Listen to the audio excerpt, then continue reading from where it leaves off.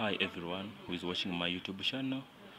Uh, in this lecture, we are going to look at interference by division of amplitude. Uh, so we have this geometry here where we have an incident ray and it is reflected here, transmitted onto the, onto the other, onto the onto this whatever, and also it is reflected here and reflected again. So we have index 1 which is the index of the air around and this is the index of the thin film. This is the distance between the two layers of the thin film D. We have this distance x. This is the angle of incidence. I can call it theta 1 and also here this transmitting the, the angle of transmission. I can say transmission angle theta 2 yeah see this one here is these two are parallel. That's why you have a 90 here implying that this angle is equal to this one now the optical path difference is given by index times the path traveled by light. Optical path is index times path traveled by light.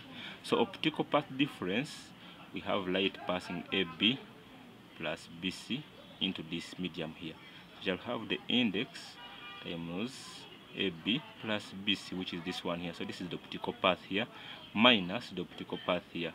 AD times N1 which is this one here. So the whole of this is what we are calling the optical path difference. So our task is to get AB BC and AD then substitute in the formula and that will be the optical path difference. So our AB is equal to is equal to BC is equal to D over cos theta 2 from this diagram here. BC here, or AB, AB, and we are having this is the angle, implying that this is the hypotenuse, and this one here is adjacent, which is actually equal to D. Therefore, AB is equal to BC is equal to D over cos theta 2. So we need now to get AD. We need to get AD. AD, which we don't know. How do we get AD?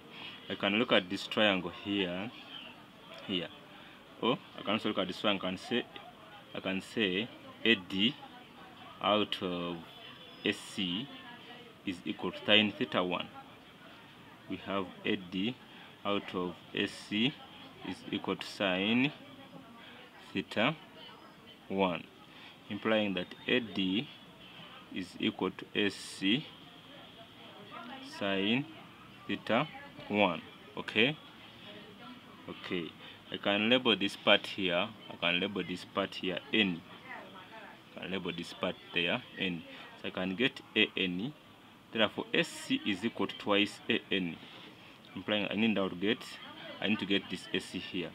So the SC is equal to twice AN but ANE is equal to ANE is equal to D tan theta 2 from the geometry from the geometry here. I can get AN from this geometry here from this triangle here.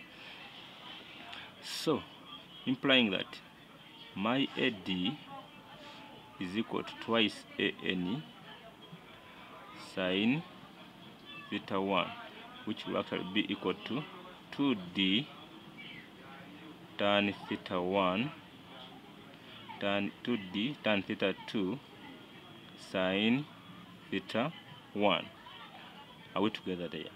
I think we are together there.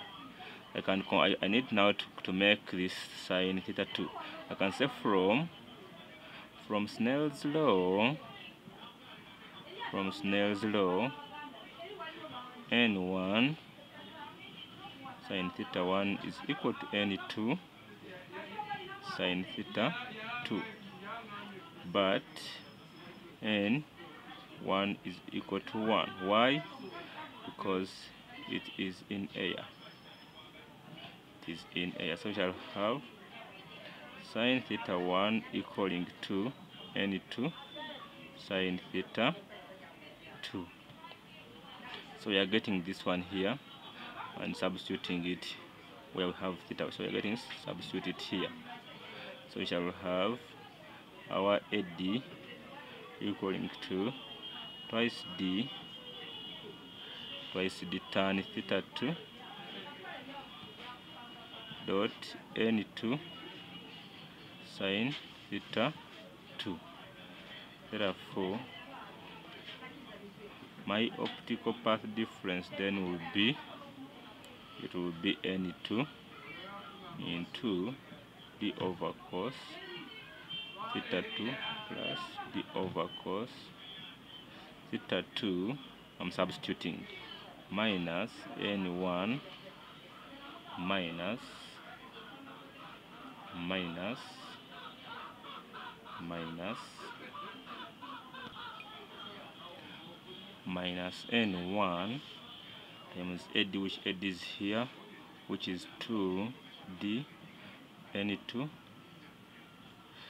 tan theta 2 sine theta 2 but we say this one here is equivalent to 1 so we shall have the OPD equaling to n2 if I if I do if I if I simplify this one shall have 2d out of cos out of cos theta 2 minus this will be 2d n2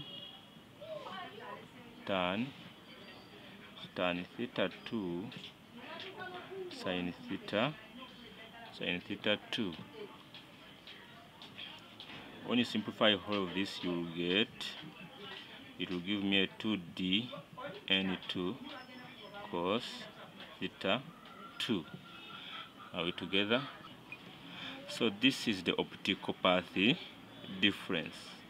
This is optical path difference.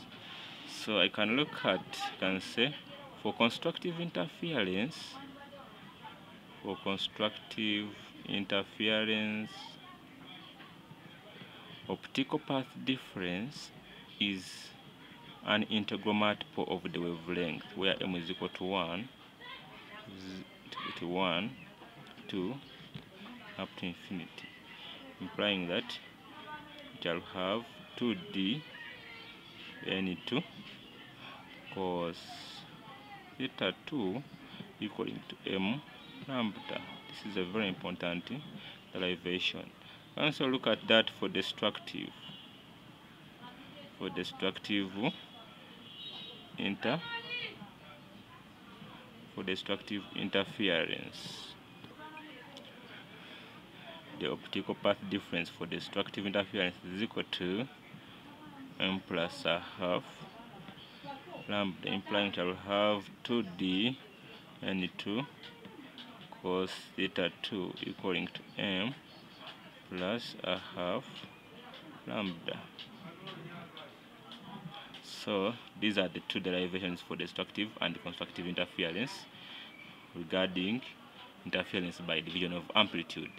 So when I come back next time we can look at examples or where we shall apply these two derivations.